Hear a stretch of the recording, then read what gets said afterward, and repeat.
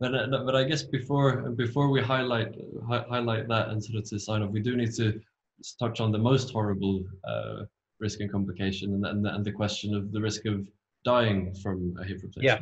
Yep. Yep. Absolutely. So that I mean, I think that's something that sometimes people shy away from talking about.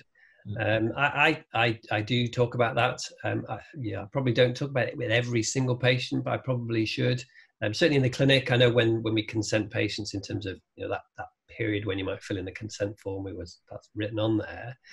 But I, I when I talk about risk of death to patients, I generally say, you know, obviously lots of bad things happen. Sometimes I'll say, what's the worst that could happen, and, and that's my kind of you know, link to say, well, obviously the worst thing that happen is you, you could die. Yeah. But then I said, we, but you could die, you know, coming in the car on the way to the hospital or on the way home, going on an airplane, crossing a road. You know, every day there's risk. There's risk of that all around us, all the time. But we kind of choose to ignore it because you can't think about it all the time. Um, but you know, they need to be aware that there is there is a very very small risk um, of that. Yeah. And that's kind of you know, if you talk about figures, it's kind of 0.01 percent.